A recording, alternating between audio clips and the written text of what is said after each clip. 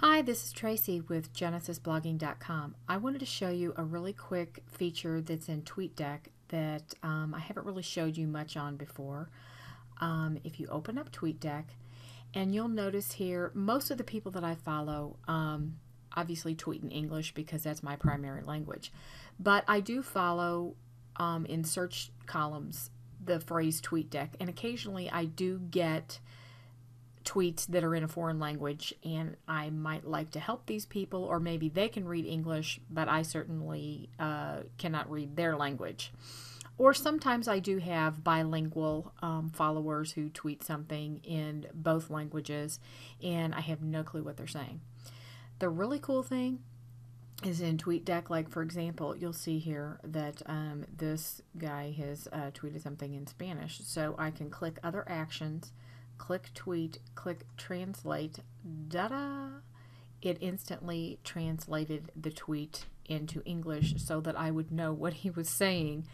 Um, I would imagine that this could be a little bit hit or miss um, depending on your language and how much Twitter shorthand that you have used in your tweet, how much Twitter shorthand was used in the tweet.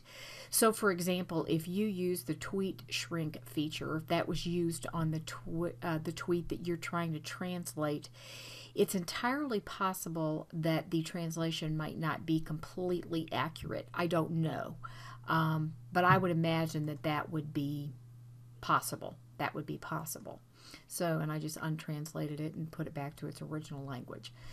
Um, of course, there is also, um, you can also translate your update. So, say, for example, if I typed an update and I wanted to translate it into a different language when I sent it, I could choose the various languages from here when I can type it in my native language and then click translate and it would translate it and send it into that you know that native language and um, send it on through that way. So, anyway, just a really quick tip on TweetDeck on how to translate um, a tweet that you might get in that's in a language that is not native to you. So, there you have it. Hopefully, that helps you.